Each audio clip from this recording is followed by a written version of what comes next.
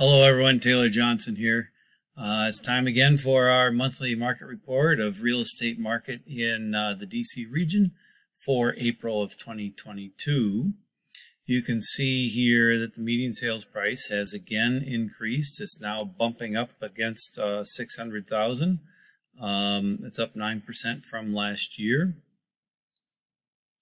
Closed sales are down, new pending sales are down, new listings are down. Uh, median days on market has not changed, it's six days. Showings are down and months of supply has decreased. So um, there's uh, some deeper things to look at here. We'll move on. But uh, the main thing to think about in this category is that home price remained strong, particularly fast price appreciation in the region's suburban markets. We'll look at that in a difference in a minute. Inventory may have bottomed out as supply increased quickly between March and April, but there's also the usual spring bloom um, where we get more listings and so on. So maybe that's what we're happening. We don't know. Uh, the home demand index has increased uh, again this month. This is the, um, it has risen four months in a row following a seasonal lower December. And though it has risen each month during the spring home buying market, the index remains below what it was a year ago. Now, that's really not fair to say because last year, despite the pandemic, was a blow the roof off the market year. Everything was exceptionally crazy. It was the best year in in decades. So uh, to compare to last year isn't quite fair.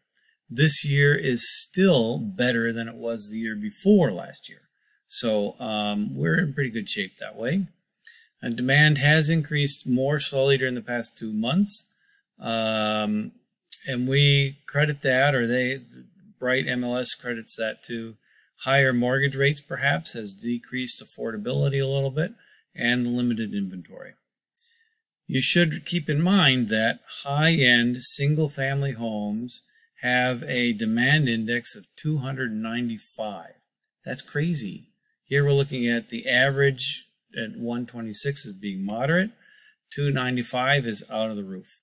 Um, so that's for higher price single family homes. And uh, it's also somewhat high for mid-priced single family homes and condominiums. Inventory has changed very little. So if we're looking at the uh, April median sales price, it's up about 9%. I'd like to point out here that the region's median sales price is now 166,000 higher than it was five years ago. Don't you wish you'd bought five years ago? Um, we've seen a projection that rates will, uh, home prices will continue to appreciate even next year. Uh, there's talk perhaps of somewhat of a recession of some sort. Um, even Fannie Mae has predicted fourth quarter of 2023 a recession, a mild recession, but home prices will still increase 3%. So um, uh, you should get in sooner if you can, right, rather than wait. Um, the fastest price growth was in Loudoun County and Frederick County. Median prices in Alexandria City and Arlington County fell a little bit in April because of more condo sales in the area rather as compared to homes. Um, so you can see here uh, the median price for these areas.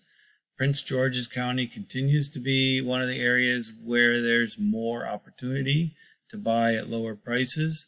And despite the increase in Frederick County, Frederick County is also a place where you can continue to buy at uh, more moderate prices.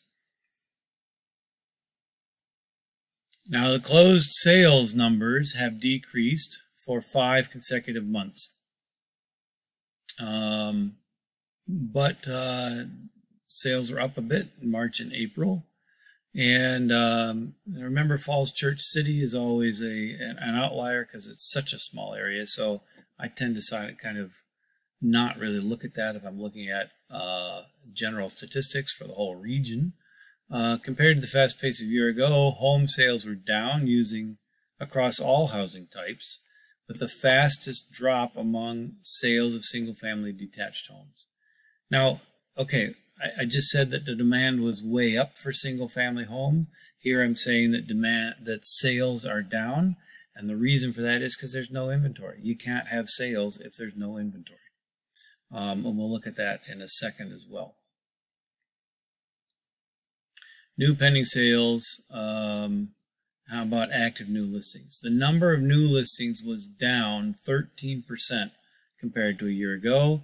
New listings were lower compared to a year ago for the past two months. Uh, so if we look at DC, we've got listings are down 17%. Prince George's County, they're down 0.5. Montgomery County, so forth. So this is why pending sales are down, is because inventory is down. Active inventory. The inventory in the Washington, D.C. region has been declining since late 2018 and continued to fall in April compared to a year ago. The number of active listings at the end of the month was down 22.5% compared to April last year, which is 1,629. The sharpest decline was in the condo inventory. So condos have been sitting for a little bit and now they're being snapped up. There are not new ones coming on the market. So the active inventory for condos is shrinking while uh, there are actually more sales in condos because those ones that have been sitting for 70 days to 100 days are now being sold. Um, and no new or fewer new listings are coming on. Um, median days on the market remains for the region at six. You can see here wherever your home is or where you're thinking of buying, all of the numbers are very low. What this means is if you enter the housing market, you have to make this a high priority. Most homes go active on Thursday, so you have to plan to be ready to go look Thursday or Friday in order to have an opportunity to see the home and think about it and put in an offer before someone else gets it. Um, okay, 10-year trends. Uh, you can see here the median sales price overall has continued to go up over time. Detached homes have had the greatest increase. And then townhomes the second. And finally, condos. Okay. Uh, and lastly here, months of supply. No, not last yet. I've got one more point. Months of supply. What this means is if we look at um, how many homes are currently on the market and there are no new homes that come on the market, how long will it take to sell all the homes currently listed? In 2013, it was 2.6 months. Starting in 2019, it was right at 2. Uh, 2020, a little less than 2. 2021, just slightly over 1. And this month, uh, for actually much of the past six months or so, we've been under one month of inventory.